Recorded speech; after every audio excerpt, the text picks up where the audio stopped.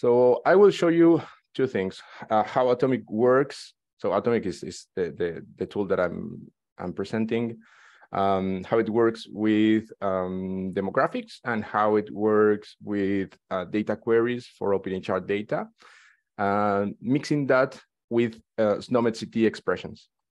Yeah, so I'm, I'm Pablo, I'm from Uruguay.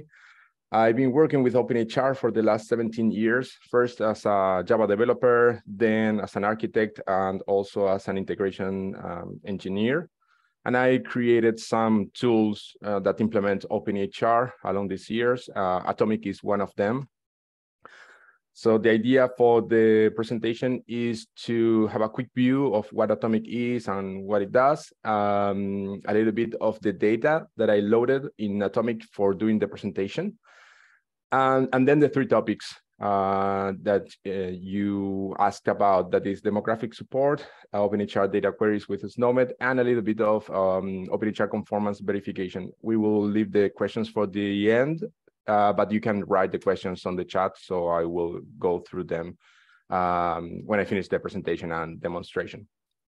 So Atomik um, is a, a, clinical data storage and a demographic data storage. Implements both models of the OpenEHR uh, specifications and has all the versioning inside. So that is every data that is created in Atomik is versioned. That is um, that creates a contribution, creates uh, version information, and creates all the audit logs. This, is part of the OpenEHR uh, model uh, also does data validation based on operational templates. So everything that you, you store in Atomik should have a template that describes that information.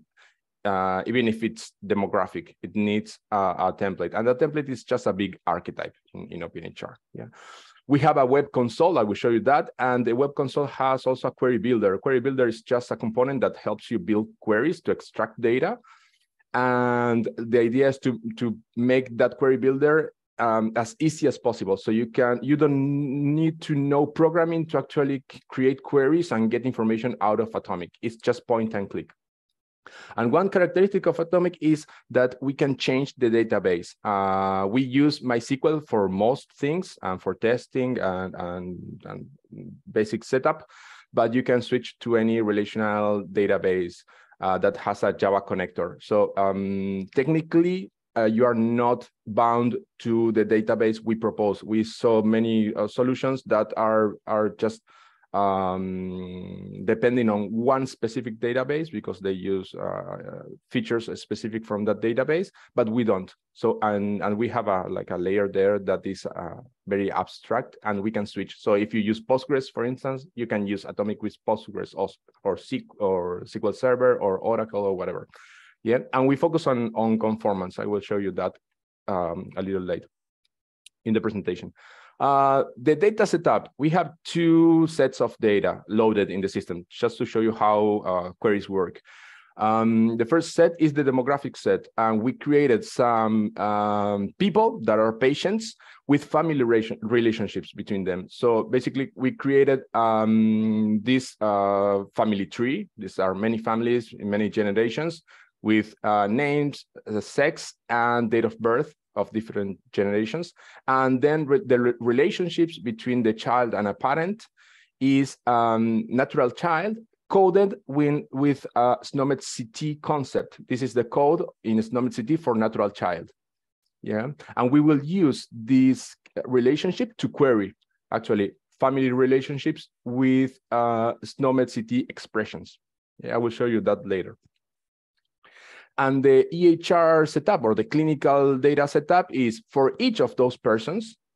Um, we created one EHR and each EHR is uh, loaded with some compositions. There's one composition that is demographic, and that just has an administrative entry with sex and date of birth, because sex and date of birth, uh, even though those are demographic uh, data points, are also clinically relevant because you know you need to know the sex of the patient or the, the age of the patient yeah so these are also loaded in the clinical side we loaded also some compositions with vital signs so this is blood pressure pulse uh, um, temperature etc Um, and we loaded also uh, an evaluation with a coded diagnosis. And this I will use to also show you how the querying for coded data using SNOMED CT expressions for diagnosis work.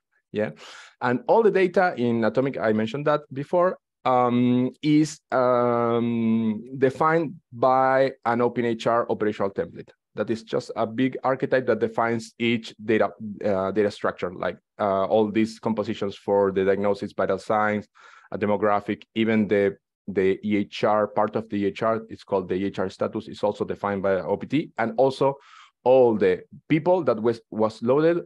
Um, there is an operational template defining that structure, and also the relationships are defined by that. And the relationships, as I mentioned before, have just a coded type of relationship that is, in this case, just natural child. But you can have many types of relationships that, that are not uh, family relationships. Like you can you can work, you can have a doctor that works in an organization, for instance, and that is another type of uh, relationship that we can load into the system. Yeah, so that's that's the basic uh, setup. So the demographic support, um, we designed um, REST API for demographics because the current specifications uh, in OpenEHR don't have a REST API for demographic data. Um, the current REST API just has uh, uh access to the clinical side, that is EHR, contributions, compositions, versioned objects, etc. Yeah, but doesn't have a demographic um, API. And we implemented this following the current uh, structure of the um, other REST APIs already defined by OpenEHR. And we proposed our API to be considered to be standardized in, in OpenEHR. So I'm part of also of the group that um, manages the specifications. There is the standard editorial committee in OpenEHR. So basically in that group, we decide what goes in the specifications, the formal specifications. And I proposed this um, design to that group. And uh, we also support the demographic reference model. That is everything in, in OpenEHR that is defined as demographic model is supported by Atomik. That is all the actors um, that is per person, organization, agent, group, and the party relationships that are ways to uh, associate uh, or define relationships between those um, entities. Um, also, the roles we support we support roles. Uh, there is a design decision that role will be in Atomik a weak entity in in relationship with uh, an actor. So basically, uh, roles can't be created uh, by themselves. When you create a person, for instance, uh, and you want to create a role for that person, you need to create the role when you're creating the person. Yeah. So, so if you want to say this person is a doctor, this person is a nurse, this person is a patient, those are roles. You need to create the roles when you're creating the person. Yeah, but that, that's a, a small design decision to simplify implementation. And we also support other entities like identities, capabilities, contacts, addresses, etc. Yeah. And the other part that we support is querying. So we can query all this data uh, with the same mechanism we use to query um, clinical data. So compositions, for instance. Yeah. The challenge we had uh, for doing this work um, is that most modeling tools don't support demographic archetypes and operational templates. Um, so, uh, or if they support, they support partially. So we needed to, for some of the archetypes and templates that we use, uh, we need to manually edit them. Yeah, so that's a challenge. Uh, I hope modeling tools uh, support more demographic um, uh, archetypes and templates in the future and, and all these classes. Uh, but if not, I might need to create my own, you know, uh, archetype designer or template designer in the future. Yeah, but because this is important. So I will show you how this works and what demographic elements we have in Atomik. Uh, first, about the model, what I show you about the model. Uh, let me load these pages. Uh, while that is loading, I will log in to Atomik. What I show you about the support for reference model is basically these classes in the OpenEHR specification. So we have here all the um, actors that are person, organization, group, agent, party relationships, roles, capabilities, contacts, addresses, identities, etc. That is what we support in Atomik. So in Atomik, what you can see when you log in, the first thing is a little dashboard. And here I added just a simple count of the people that we have loaded and the organizations. We don't have any organizations. Um, but this gives you just uh, an initial taste of what it what is loaded in the system. And these are demographic classes. Uh, if I go to uh, contributions, Contributions is anything that changes in the system. That is, you can create um, a composition in an EHR, that's a contribution. You, you create an EHR, that's a contribution. You create a person, that's a contribution. So a contribution is like a big log of things that changed in the system. So I can click on one contribution and I can see what is inside. In this contribution, I have the log information, the idea of the contribution, and I have all the versions of the objects that were added in that contribution. This contribution is actually for a relationship between two um, demographic classes and is just a generic relationship. So this is the template ID, the archetype ID. This tells you that this was created. So in OpenEHR, you can create, you can modify, you can amend, or you can even delete these things. Yeah, but this was a contribution that contained uh, data about the demographic relationship between two um, persons. This is really one of those family relationships. Another thing you can see related to demographics is the version object for demographics. Right now we have uh, compositions, we have folders, EHR statuses. These are created when you create an EHR and actors is any kind of actor. I just have uh, people loaded. I don't have organizations or group or agents. But here you can see all the actors, the template that defines that actor, the root um, archetype ID of that actor. This is an OpenEHR archetype. And if I click on one of those versioned objects, I can see the ID of that object and all the versions of that object. Because I just created uh, data, I don't have any versions more than the first one. Yeah. So if you you create a person and you modify the person here you will see the modifications all the logs for the modifications. So you can go back in history and see everything that happened to one record. That could be a, a person an organization a clinical document etc yeah. Another thing we can support for demographics as i said everything should have their own uh, OpenEHR um, operational template. Yeah. So in the template area, we have a little uh, manager for templates. You can upload new templates. You can version templates, etc. You can see here we have a template for the person. And if I click on the template, uh, I can see the basic information about the template, the versions for the template. Uh, Atomik allows you to, when you're developing, uh, it is very useful to be able to load a template, then change it a little bit, then load it again.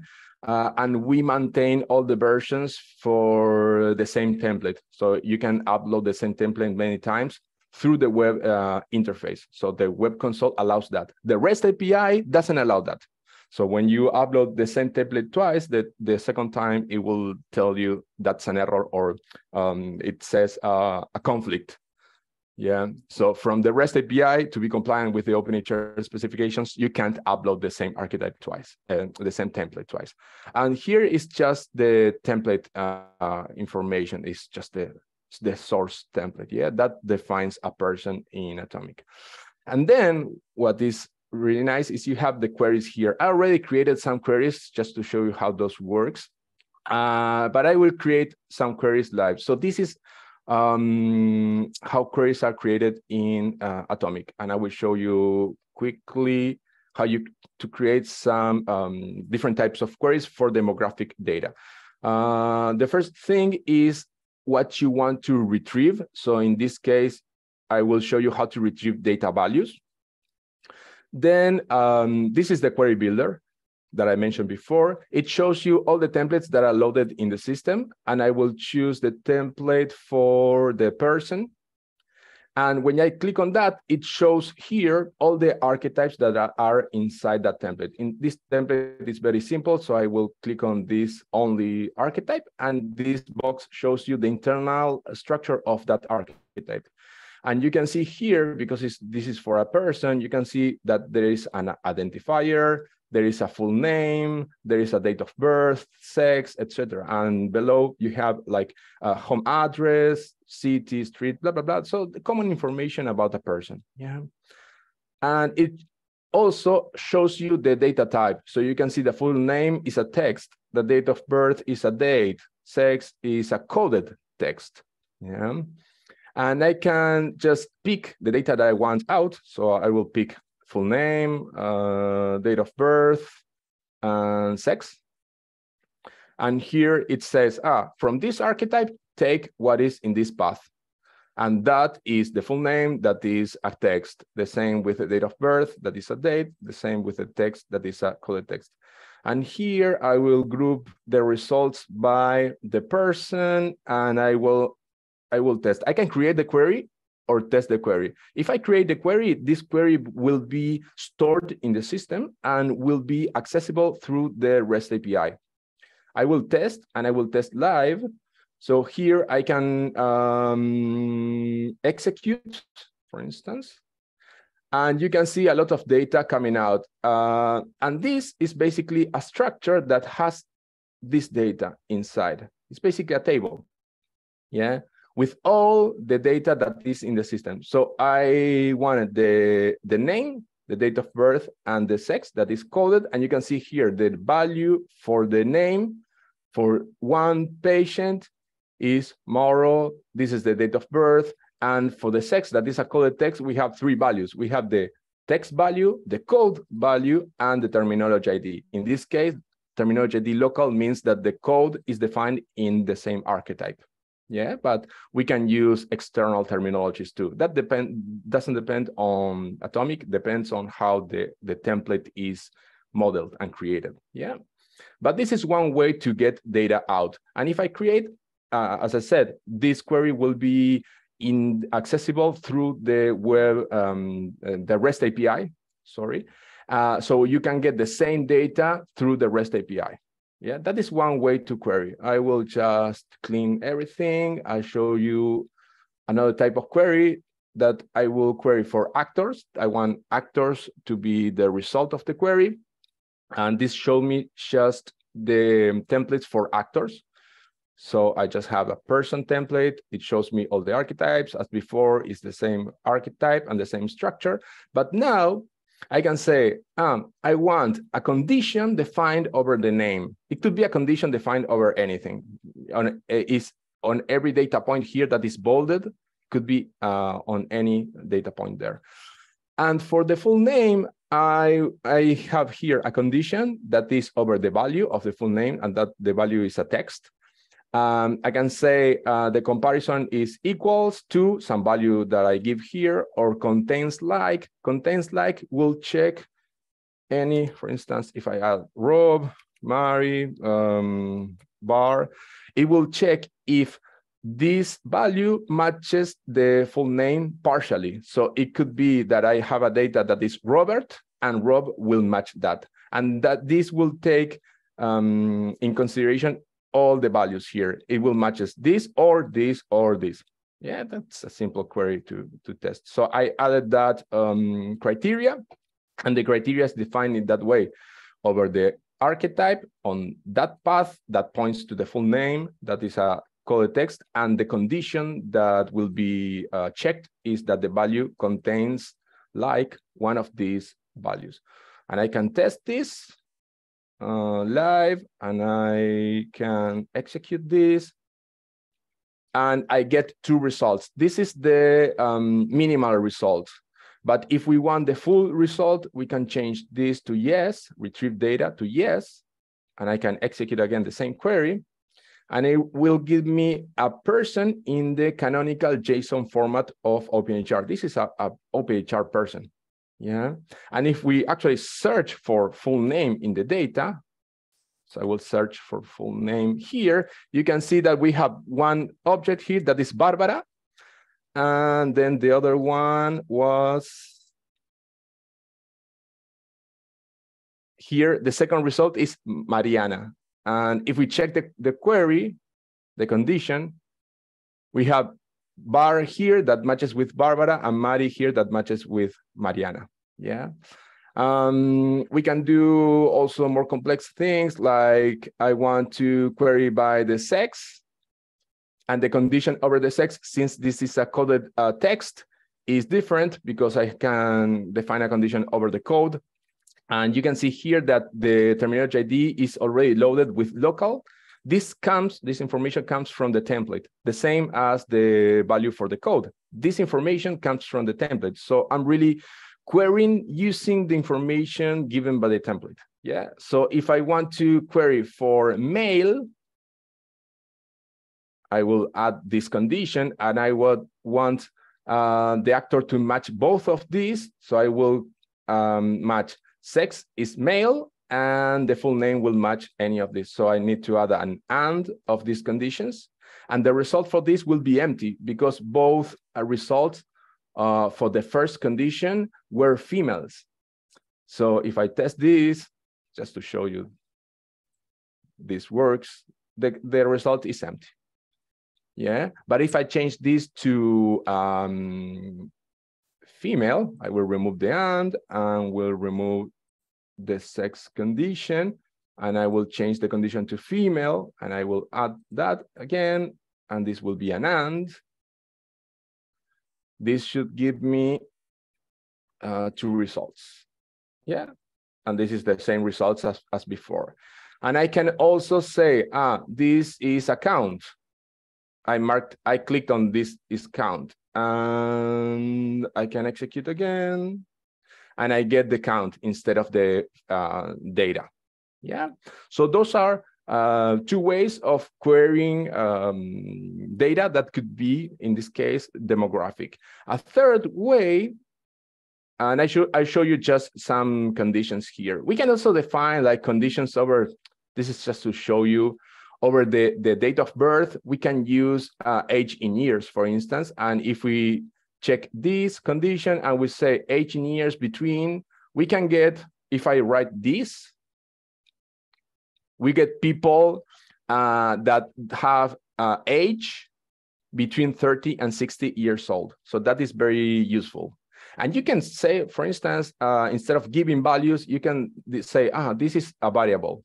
So when you define a variable there, and I will just show you how this works very fast. I will just remove the conditions one by one and I will add this condition over the date of birth, you can see here when I say, ah, use variables instead of values, you can see here the age in years should be between and it generates two uh, variables. And the variables have meaningful names like date of birth value, age in years, low, because it's a range and age in years high. And if I test this, it will ask me to provide these values. If I don't provide the values, it will tell me, hey, these values are mandatory. So I can say, as before, 30 and 60, something like that. And I can query. And since I have the is count uh, checked, it returned the number of people I have loaded in the database between these ages. So that is a quick um, indicator. Yeah, this is a for loading like um, uh, uh, analytics or statistics uh, system. This is um, very easy to create. It's just point and click, uh, and the count should be um, clicked.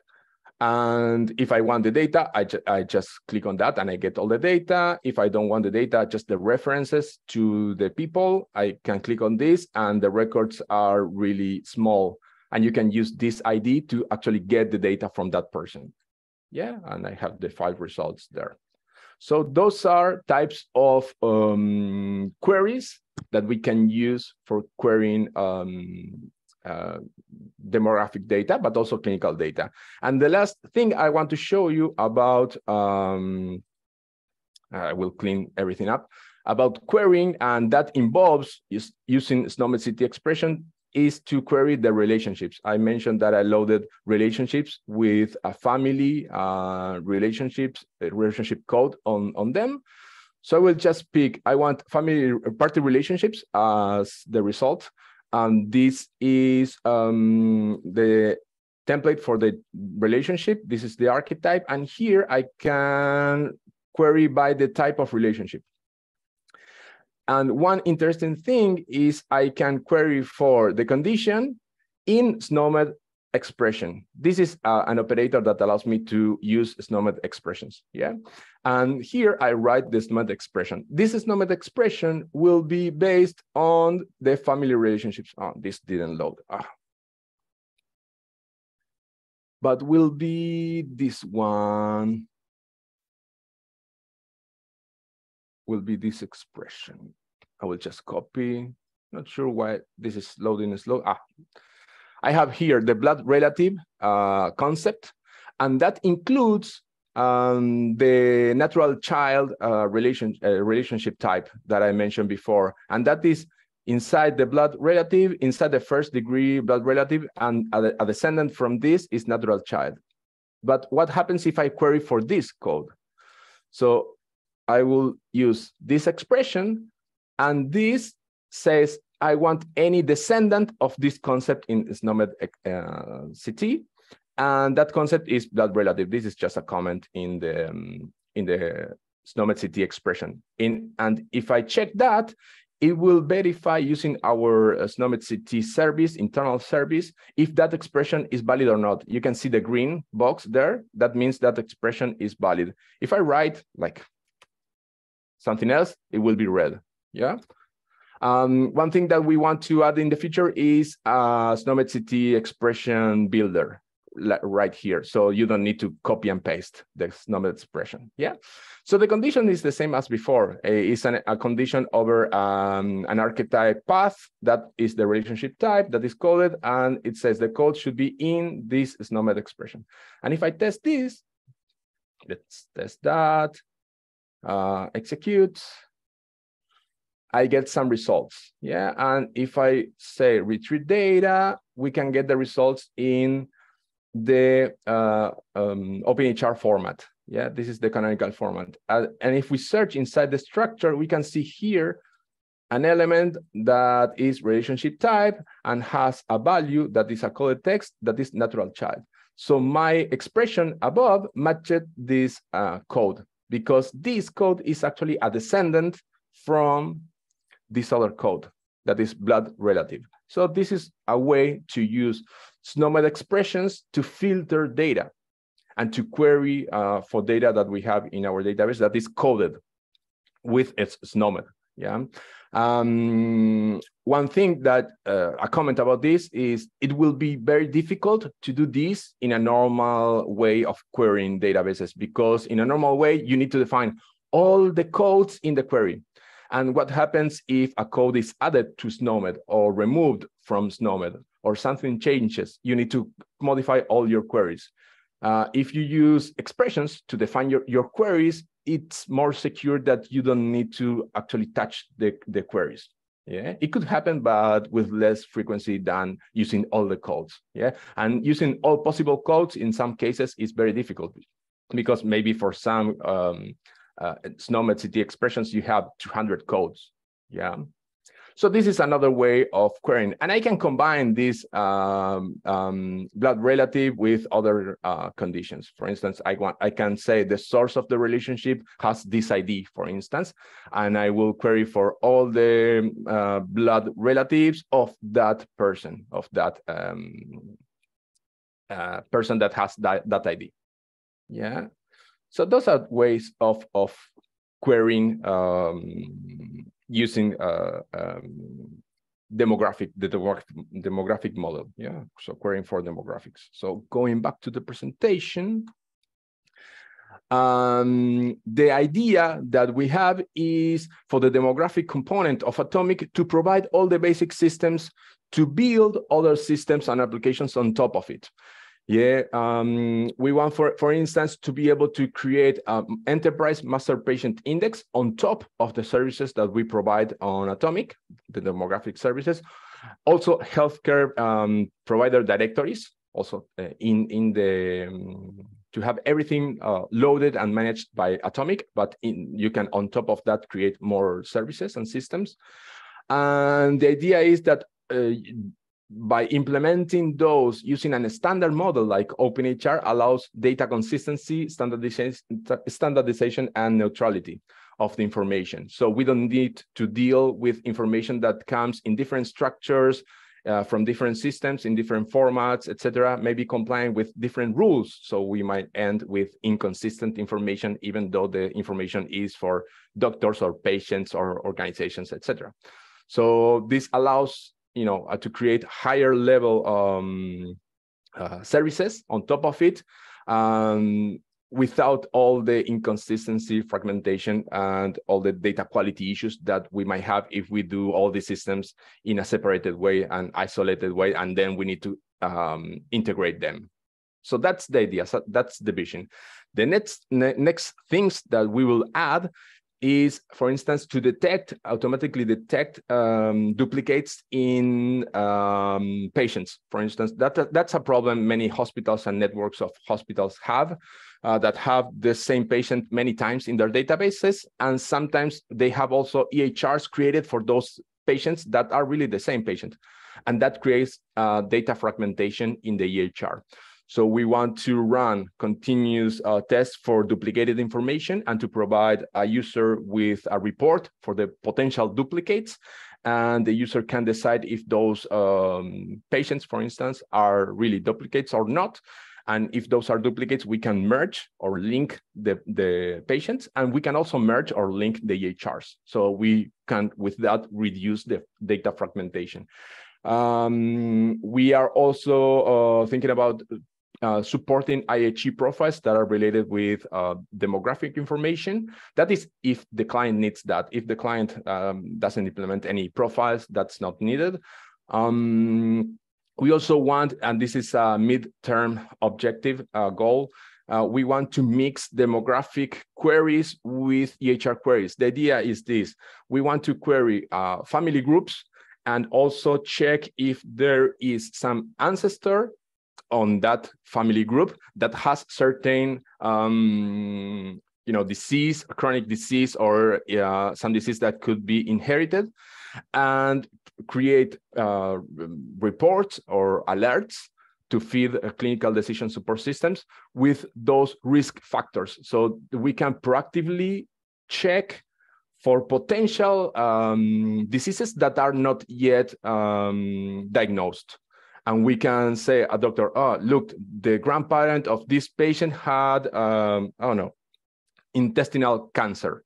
So double check, and the and the person is is older than uh, 40 years old. So this patient needs a colonoscopy. For instance, I'm not a clinician, so clinicians might be laughing right now.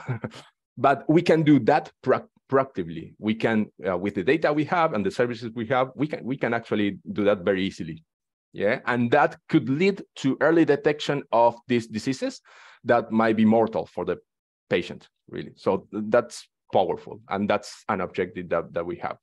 Yeah. So with that i will take a breath and drink a little water. Um, i ended with the demographic support. Please if you have any questions about that i will just have a drink of water. Give me one second uh, I will show you how uh, more about data queries and SNOMED expressions. Since I, I show you uh, three or four queries, I will go very fast over this section. Ah, good, it's good to drink some water. So about data queries in Atomik, um, all queries are stored. That means that you create a query uh, using the query builder that I just showed you. And these queries are stored in the system. When a query is stored in the system and it is created, as I, as I show you, every query is created in the same way. It's just pointing, clicking, and adding things. Um, it creates a new data service. So every query that you create is available through the REST API and other systems and applications can uh, discover those uh, queries by the name, by the description. I even did uh, a little um, exercise feeding a query to chat, uh, chat GPT and chat GPT was able to describe that query, what that query does. So if we have those descriptions, uh, and are very complete descriptions um, uh, alongside with the queries, um, an external um, a client of Atomik can discover those queries and reuse queries that already exist. Yeah, and some administrator can create queries that don't exist. Yeah, so when you are creating queries, you're creating really a data service, a data extraction service. Um, and I just show you that we support uh, variables with meaningful names, and the names also come from the template information. So when you see a variable that is systolic blood pressure value, you know exactly what it, it is. Yeah. Uh, but if I show you like syst one, two, three, you don't know about about that. So um, we created uh, meaningful names for variables, and that's a way to reuse the same query um, if you need to change, for instance, the ranges. Uh, so a client can can change the ranges using variables, and the variables are included in the um, in the queries. So when you when you list the queries available in the in Atomik, through the REST API, you get also the variables that that query uh, uses. And you need uh, the, the values that you need to provide. And if you don't provide the values for the variables, the result of executing the query will tell you, ah, you need to provide a variable, a, a value for this variable. Yeah. Um, we also support SNOMED expressions. I just show you how that works um, as semantic filters for coded data. And we support date, date functions. I, I show you that with the age in years. We support uh, complex operators like contains like. I also show that for query uh, the patient name, etc. And these are some uh, examples of very simple SNOMED expressions, and you can build more complex SNOMED expressions. But these SNOMED expressions work with the data that I have loaded. Also, the data I loaded to show you how this works is very simple. So I, I didn't want to make any any anything that is too complex to, to understand and it's easy to follow up. For instance, the first um, uh, SNOMED expression, I already used that to query for uh, party relationships. Yeah, that is the blood relative. The second one is uh, give me EHRs with uh, any type of diabetes recorded on, on the EHR. So uh, this is the code for diabetes mellitus, the top code. And this uh, queries for any descendant of that uh, concept in SNOMED. Um, we can use the same thing, but excluding part of the codes. So these uh, SNOMED expressions for people that are is not um, familiar with SNOMED is really querying the SNOMED concept graph. It's not a tree, it's a graph, and it's giving you a, a part of that graph. Yeah. Um, and so in this case, it's giving me all the types of diabetes mellitus but is leaving out, is removing the diabetes that is secondary, any type of secondary diabetes. So this will be only primary diabetes. Yeah, and we can use that to query and filter um, patients and find EHRs of patients that actually contain um, diagnosis that is some type of diabetes that is not a secondary type of diabetes. Also, we can use the fourth one to get, you know, any um, patients that have some kind of allergy. This is some kind of allergy. It's not specific type. You can have allergies to medications, allergies uh, to um, food, etc. Those codes are also in uh, SNOMED CT, those concepts. Yeah, but uh, this is just a very simple. Ah, give me if the patient is allergic to something. Yeah, um, I will show you how this works with clinical data. Yeah. So let's query, let's create some queries for clinical data.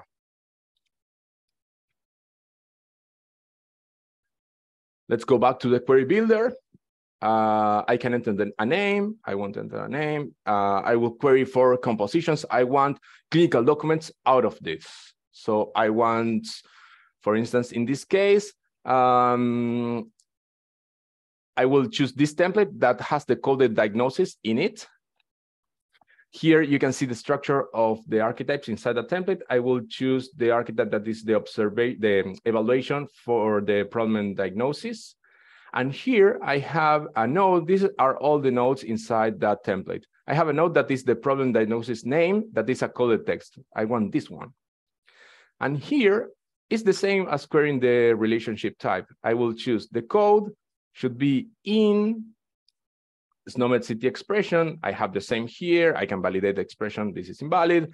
And I will copy and paste an expression that I already have um, created. It's the same as the one in, in the presentation.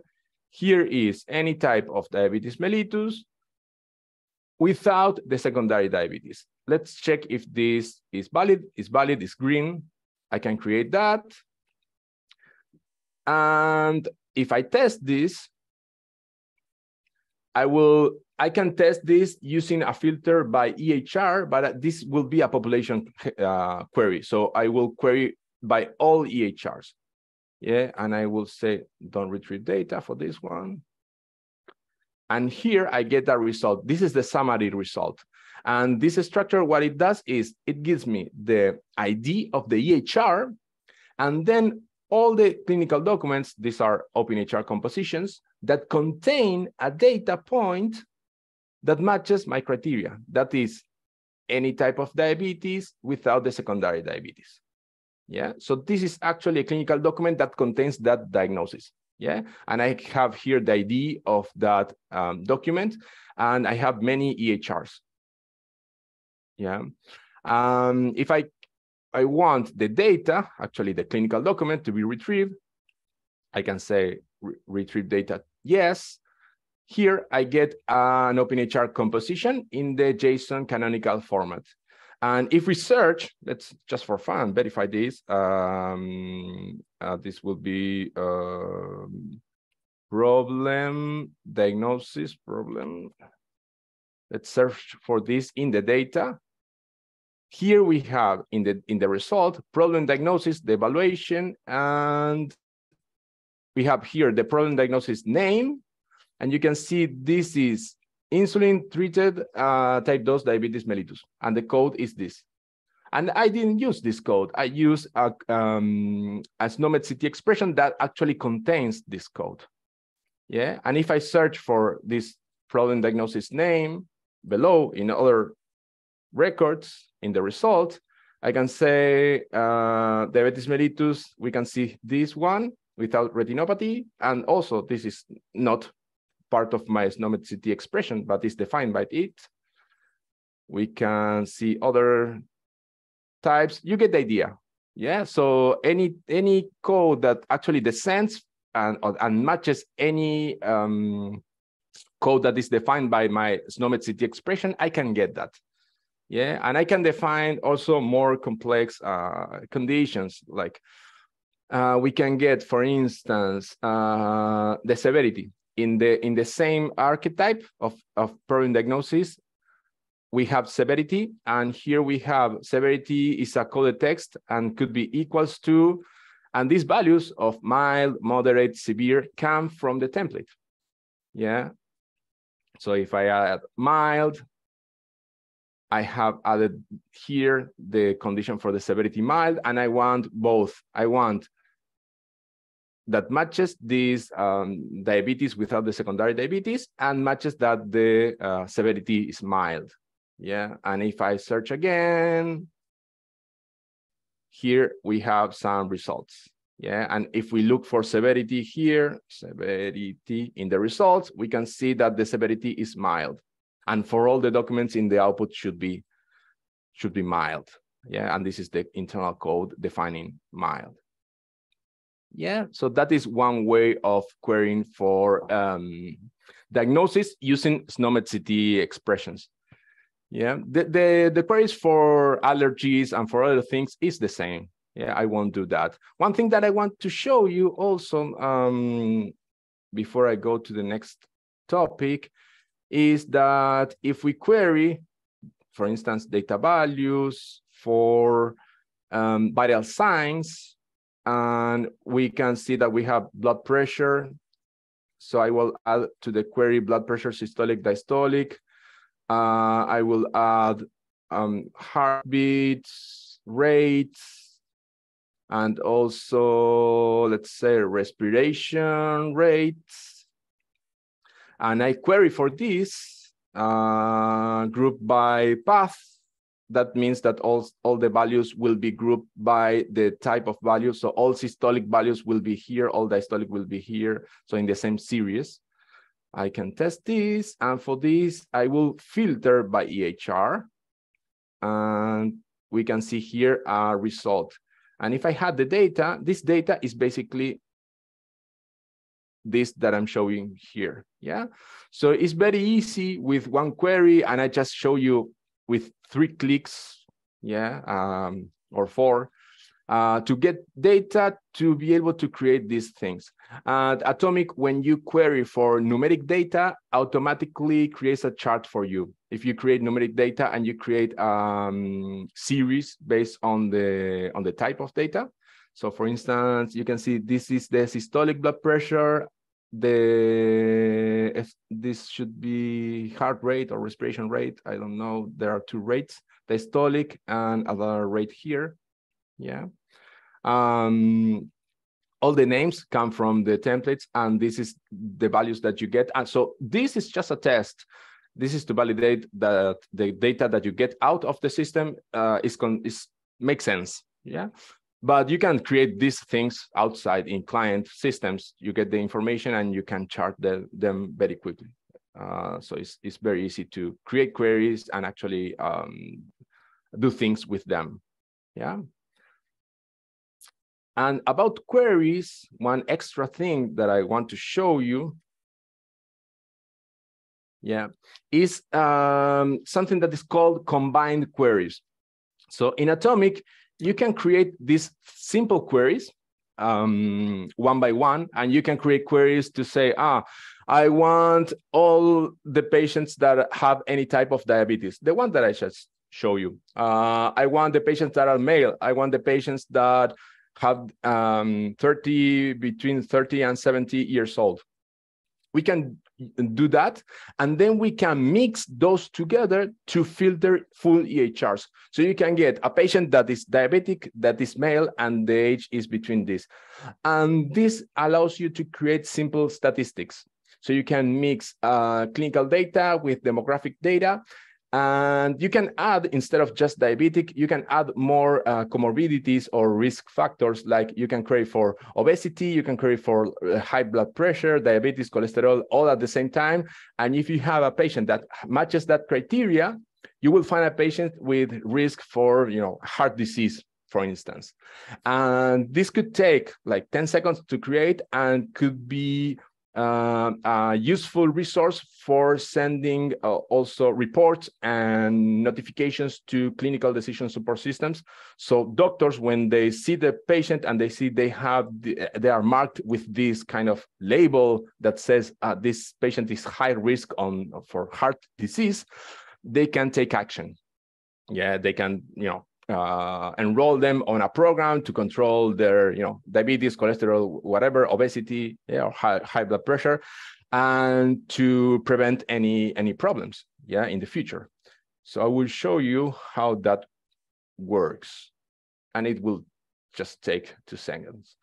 As I said, I already have, this is like a cooking program on the TV. You already have something done, yeah? Uh, so I have a query that just queries for male patients, another query that queries just for female patients. So it filters by that. And I have queries just um, for age ranges. And I have other queries for uh, any type of diabetes is like the one that we created um, a second ago. Any type of diabetes. Sorry? Uh, we were just uh, thinking uh, it's uh, 10 minutes left of the first yep, hour. This will be very, very fast if we should take some some questions and then perhaps some people has to leave and then we can continue or, or uh, this will take, you can finish this example. Yeah 20 seconds. We'll, we'll yeah. take just that. Uh, this is are the basic queries that i have created yeah? And you can execute them uh, individually and you can access them through the rest api but if you go to the uh, combined queries i can actually say uh, i want EHRs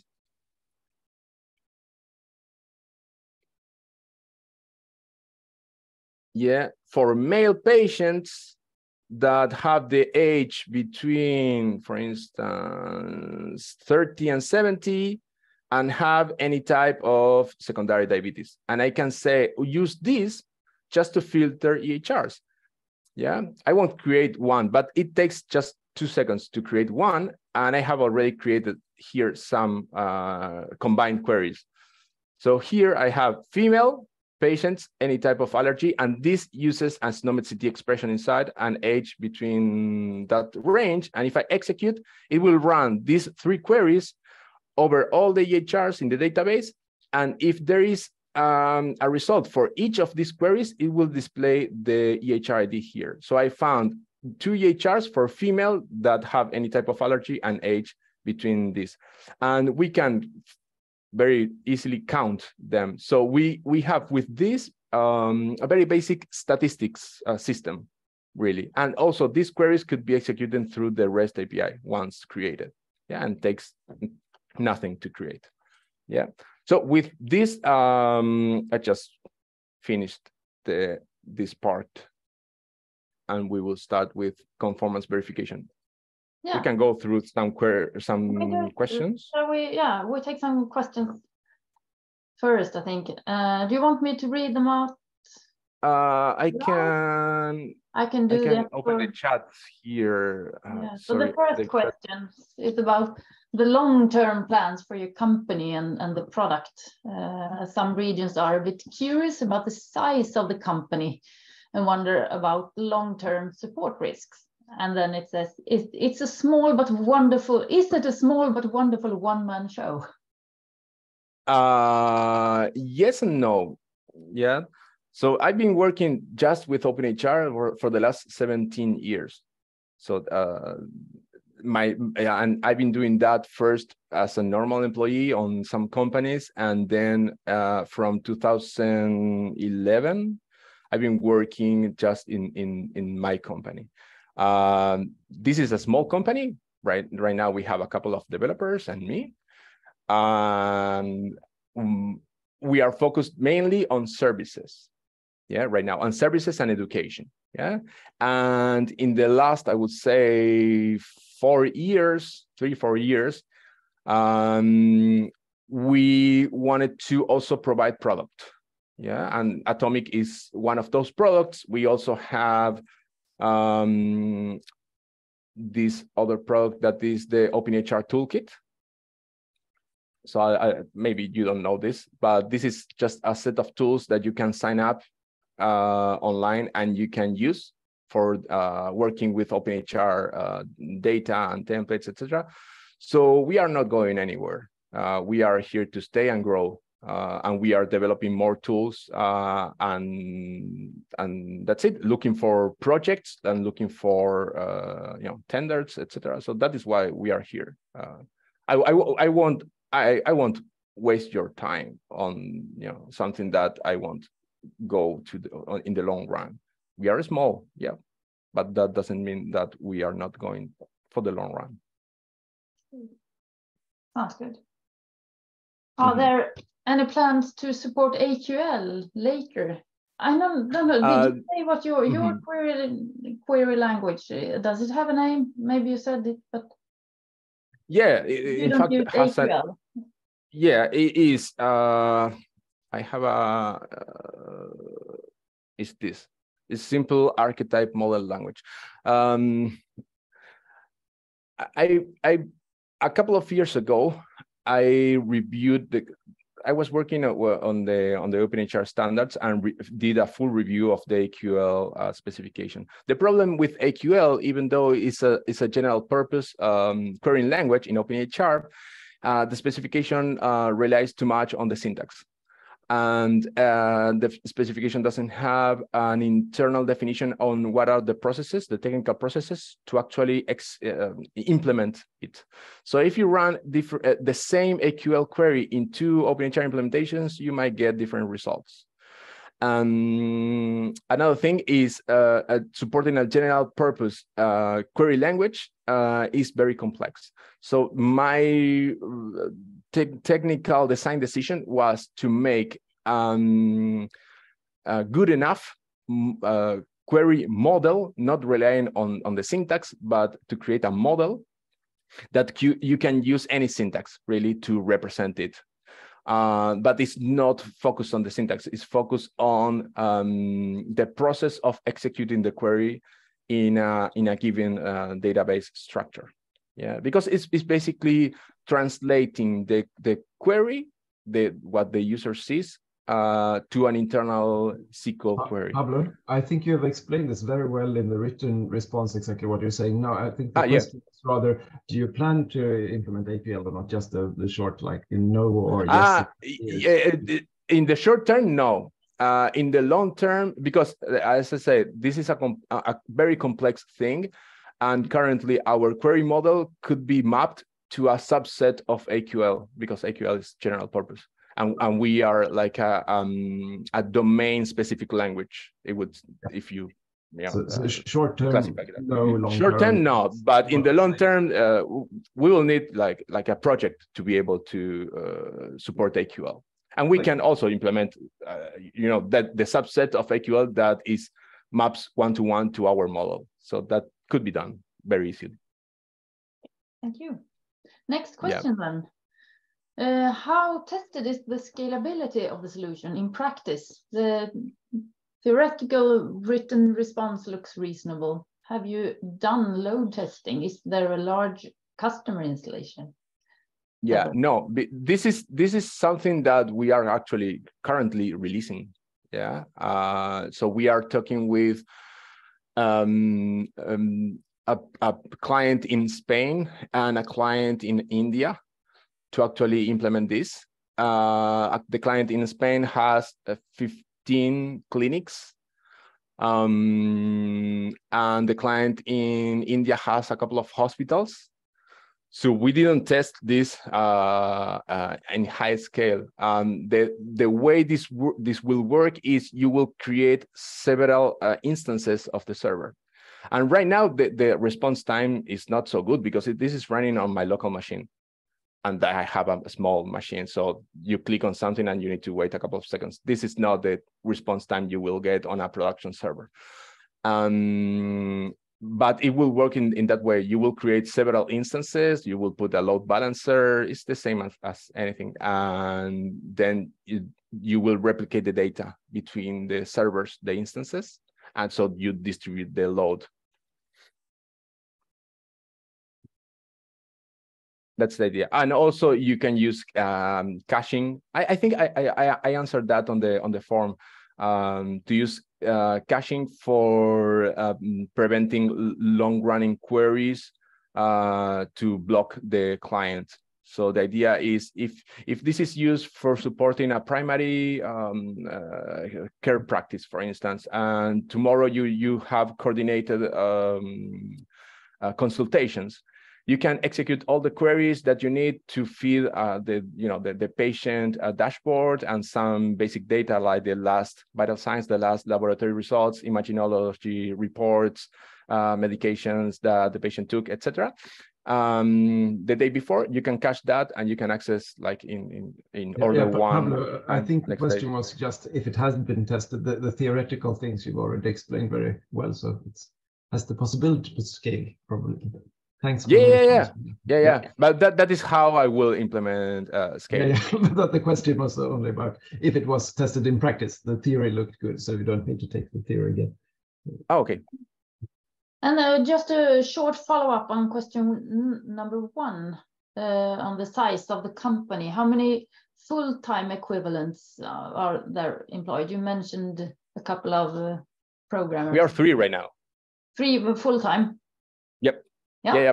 But uh, the the for the, let's say thinking in your context, we are in contact with um, with companies in Sweden. Like we we have um, um, Cambio there that we are collaborating in um, in the conformance part currently. So uh, if you're worried about local support, we we have contacts there that could help in that area. So it's not just relay. It, it's not that it will rely on us that we are on the other part of the world. Yeah, we we will be Uh, in practice, we will be the second level of support. The first level will be on site. Okay.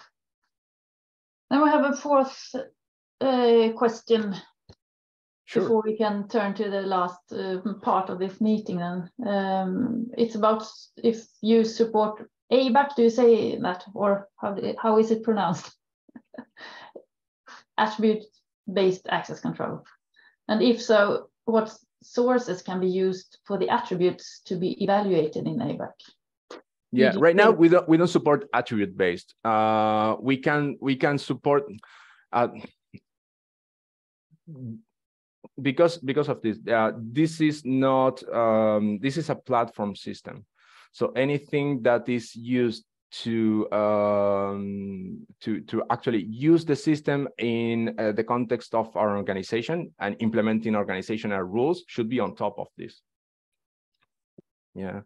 So the filters of, of for accessing specific information should be on top. And Eric, it's not it's not the scope of, of Atomik to provide those specific rules. Thanks. And there's a comment on this uh, question number four, and I ask Erik directly if you could.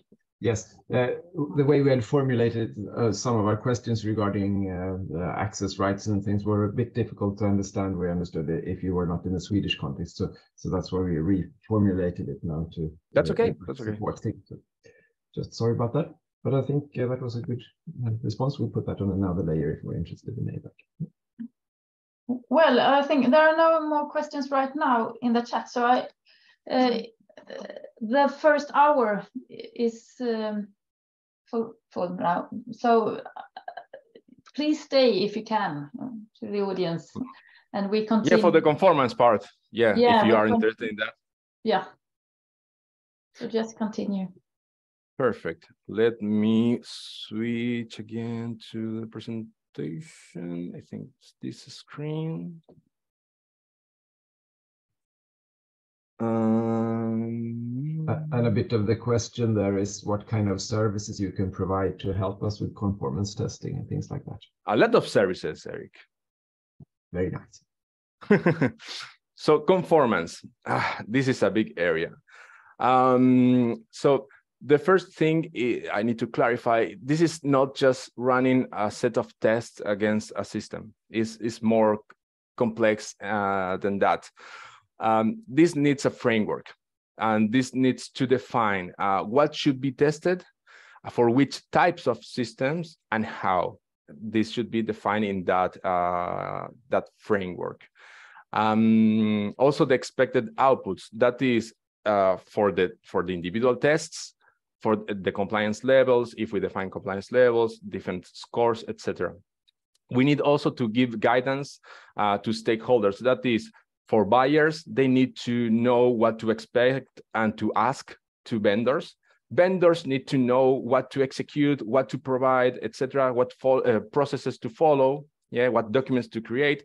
So, and for also for evaluators that sit in the middle, uh, independent evaluators that will, for instance, verify conformance of a system from a vendor when a buyer wants to buy that system. Yeah. Uh, if we don't have a guidance, we can't define clear rules for you know this environment. Uh, we need to define all the processes, resources that are used for testing conformance, um, all the test cases and terminology that we use, and any other resource that is used up for this should be really defined uh, in detail. Yeah. And we also need, this is very important, we also need to consider some design and technical implementation decisions because that uh, at certain system doesn't pass a test, doesn't mean the system is not compliant with OpenEHR. That means that they might implemented some feature or some part of the specification based on an interpretation they did of the specifications. And if we as um, evaluators, let's say, I, I, I, put myself on the vendor side, but also on, on the evaluator side, um, interpreted that part of the specification in a different way, we are creating tests for the our interpretation and maybe uh, there is no right interpretation, but both interpretations are right. So we need to consider the technical decisions that each implementation does, not just take the output of the automatic test and say, ah, this didn't pass, this did pass, and that's it. That is why it is not just running tests against, against a system. Yeah, that is the only way we can, with all this framework and elements, we can define um, fair rules for everyone, for all implementers. Yeah, and also the buyers know what to expect from this. Um, so what is done currently? Yeah, um, we have, I have published uh, an OpenEHR conformance verification framework. Is the second draft right now. This came from a work I did um, for the last, I think it was four, three, four years working in HiGHmed that was, uh, it, it is a German project. Um, and I worked that uh, in, in, that project from 2018 until last year. Um, and part of my work, important part of my work was verifying conformance of the CDR they choose to implement. And I took that work and I formalized that into a document that is the conformance verification framework and extended the scope of uh, for testing any type of um, OpenEHR implementation, not just uh, clinical data repositories. Yeah. So that is a document that we, we have, and I can give you the link so you can review it. And any you know, comments are uh, welcome. Um, then we have the test suite designs, and this is just the designs for all the tests that will be implemented uh, and run automatically against an implementation. So this is just um, spec, and I have created those when I was working for the German project, and those are very well documented. After the German project, I, I um, improved them. I added some test cases, data sets, etc. So that includes the test case definitions for each component of OpenEHR and data sets for testing. This is data sets that are inputs and outputs. So expected uh, outputs for certain inputs. And this includes templates, compositions, etc. Yeah. Um, we also have an automated test implementation of those specifications. Uh, the current implementation is, was done in, in Python and was done during the, the my work on, on the German project. And uh, Python is not a very um, usual language, I would say, in, in our space. And it, it was very difficult to maintain, really. It, it started small, it looked very nice, and when tests uh, got more complex and we had a lot of tests, uh, it was a mess to maintain. So we are currently migrating this to a Java framework and we are using Spock framework. And for this work, we are working together with Cambio because they want to uh, have this implementation also to test their systems. So it's nice that we have two you know, companies collaborating on, on, on this. Um, and one note about this is that the current uh, OpenEHR specification for conformance is based on the test suites I designed uh, for the German project. Uh, but the current conformance specification, first is a draft, uh, second, uh, has a narrow scope than the conformance verification framework. It's focused on just clinical data repositories, not focused on, for instance, demographic data repositories, um, uh, clinical modeling tools like for creating archetypes, templates, uh, processes, etc., or, or, or, rules for clinical decision support, or uh, CKMs, clinical knowledge managers, yeah, and other types of systems that you can build on top of the OpenEHR specifications or implementing OpenEHR specifications. This link here, and I will send you the presentation afterwards. Uh, so you have this, uh, this is, explains a little bit of this and has a link to the document, yeah, for the conformance verification framework. And that document tries to, to define uh, all the things that I mentioned before, all the things, what should be tested, the expected outputs and inputs, the guides, uh, processes, etc. Everything is in that uh, document. Yeah, it's a long document. I, I like writing documents. I don't like reading them. Um, and our goals for this, all this work, and that is ongoing work. Um, first, we want to be able to verify any kind of system uh, that implements OpenEHR for, from any vendor in an unbiased and transparent way. So even though I provide systems in, in, the, in the OpenEHR, I would say, environment, uh, world, domain, um, if I if a vendor contacts me and says, "Hey, Pablo, uh, can you validate this? Our tool verifies with the OpenEHR specifications. I will do that uh, in an unbiased and transparent way because I already have processes defined for me to not be biased. So I will follow those processes. And my client knows that I will follow those processes. Yeah, because they know I will follow them because are defined processes in the framework. Yeah. Um, so the idea is also to be able to compare systems of the same kind. So CDR from vendor one with CDR from vendor two, uh, demographic data, um, data repository from vendor one to the vendor two, etc. If you have different CKMs, if we have different modeling tools to compare them, yeah. And with that, we will compare, for instance, uh, conformance statements, uh, automated test results, and conformance verification reports. This is uh, the interpretation from an evaluator of the automated test results as I said, we need to consider certain design decisions too, not just the results. And also the conformance statement. The conformance statement, that is something that we don't do in the OpenEHR world. A lot, a lot of times uh, for a, a, lot of vendors, I didn't see one conformance statement.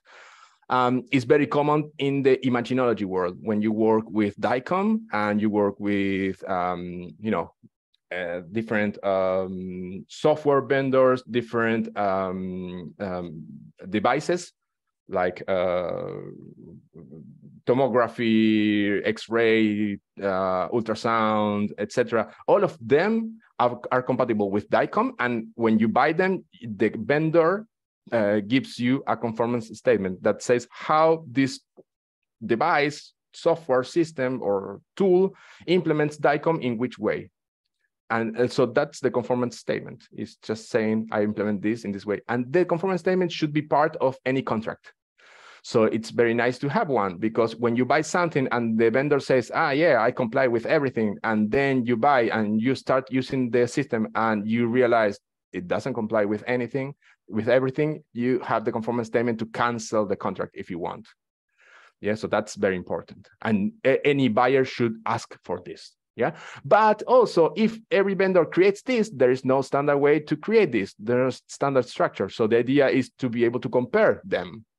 So in the conformance verification framework we have a definition of each data point each structure that should be defined in the conformance statement. So it's basically the questions that a vendor should answer. Yeah? So a buyer could buy you know uh, with more security. Yeah? Not just trusting the, the vendor uh, and this, the idea is to prepare all stakeholders to run conformance uh, verification processes, vendors, buyers, and evaluators.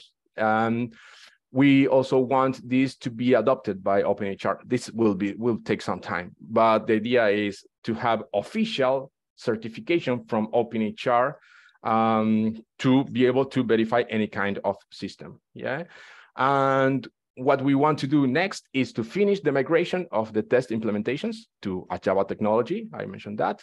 Um, to contact vendors to have those uh, initial tests to be to run on their systems, not to run the verification, um, uh, the conformance verification process on their systems, just to run the test to see if we can run from three or four different vendors at least on their CDRs or whatever type of system they provide to actually validate the conformance verification framework works.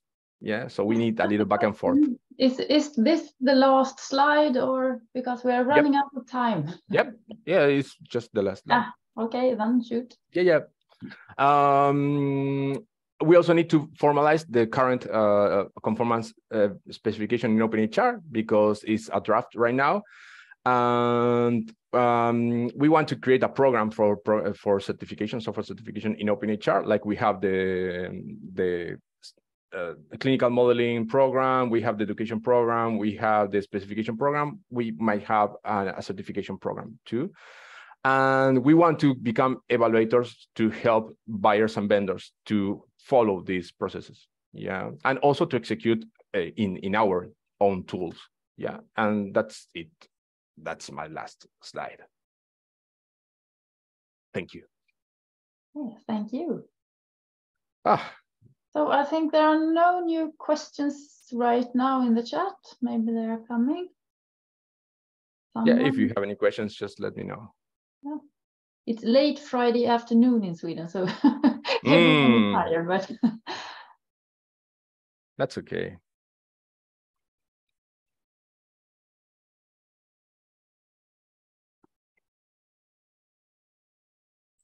You can ask me anything if you want.